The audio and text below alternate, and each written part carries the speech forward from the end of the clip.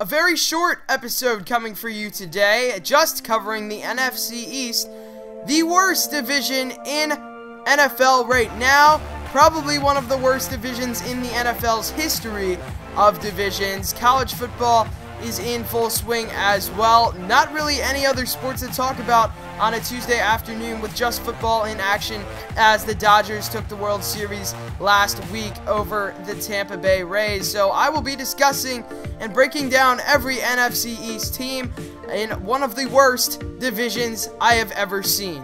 This is All the Talk, All the Sports. I'm Gary Wenzel.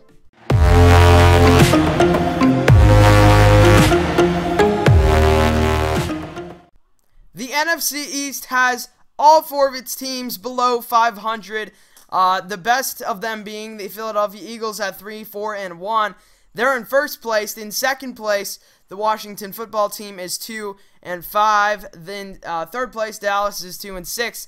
And in last place is the New York Giants, and they are 1 and 7. Uh, an awful division, an absolute mess for sure. Each team has its own problems or sets of problems. Uh, they all have sets of problems. Uh, I'm going to break them down all individually. Uh, let's start with the Philadelphia Eagles. The Eagles, they've got problems with their quarterback, Carson Wentz. He's a good quarterback for sure. He's he could lead probably at least 10 other teams in the NFL and be their franchise quarterback. Um, what can I say? When you're fumbling the ball multiple times a game and throwing multiple interceptions in a game, which he did against Dallas on Sunday night. I think he had several interceptions and several fumbles as well. That's not good. I mean, those are possessions that you're losing. Luckily, when you're playing a team like Dallas who can't capitalize on those turnovers, uh, it ends up working out. But when you're playing a better team, basically almost any other team in the NFL outside of the NFC East, uh, they're going to capitalize off those. And four turnovers is not going to get the job done for sure, and that could potentially turn into 20 plus points off of turnovers, so that's not good as well. Eagles have injury problems as well. Uh, excuse me, with receivers, uh, linemen, uh, all sorts of stuff. Uh, Washington, uh, they've got quarterback issues as well. I think they found their guy in Kyle Allen. They tried Alex Smith there for a little bit. Dwayne Haskins was the original starter in the beginning of the season. Uh, excuse me, they moved him, away from him pretty quickly. Uh, they got problems as well, not necessarily injury problems. Uh, they just have lack of experience, lack of depth on that roster there. Uh, it's just a bunch of odds and ends players uh, making magic happen on the field. Uh, not really magic happening on the field. Considering you're two and five, like two and six, excuse me, and you're two and five, excuse me, again, uh, two and five, and you're sitting in second place in the division. Uh, that's just awful. And Dallas, don't even get me started on Dallas. I've got three of their guys on my fantasy team. Uh, Zeke, Cooper, and Zuerlein. Uh, they're awful right as well. Earlier in the season, when Dak Prescott went down with that uh, knee, uh, excuse me, ankle injury, uh, you knew things were going to get bad. Andy Dalton took over the job. He's got experience. Hey, it's not the worst backup ever. He gets hurt. So now you got a rookie quarterback in from James Madison, uh, not even a Division One FBS school, leading the Dallas Cowboys. Uh, they've got great weapons on the perimeter. They've got Michael Gallup. They've got Amari Cooper. They've got CeeDee Lamb, and they've got Ezekiel Elliott. Uh, they've got receivers uh, DiNucci just can't hit them. Uh, they ran a bunch of trick plays. It worked for a little. And Elliott is this is where it's getting bad here because when defenses know that you can't throw the football, they're gonna stop the run game when you've got a really really good running back in Ezekiel Elliott. He hasn't scored a touchdown in the past two games, I believe.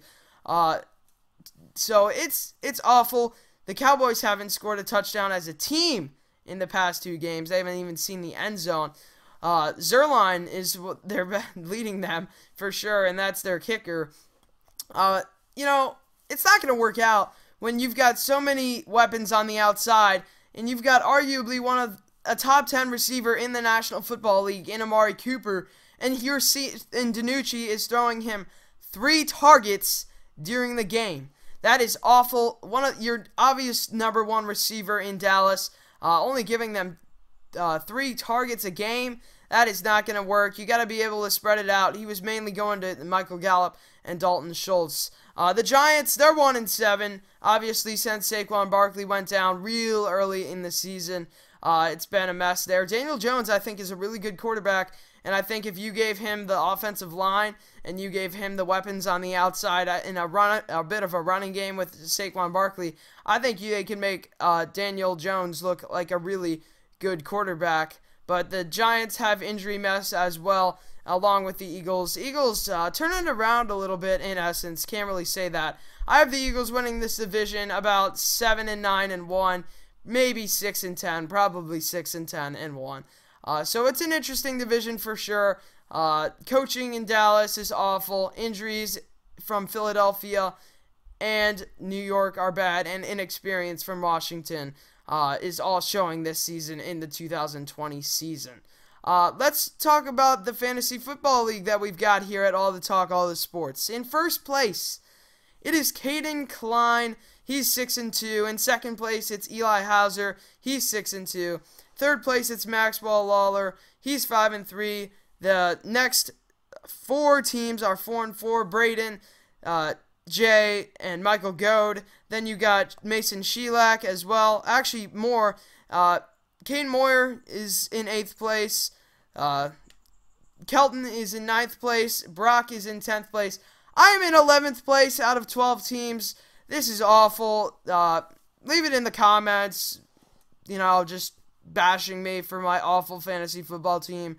Uh, things are not going good. These guys are not seeing targets. They're not getting rushes. I have Elliott, Amari Cooper, uh, and they're doing awful right now. So it's bad. I'm in 11th, but I'm not in 12th at, at the moment. Uh, that could change at any second.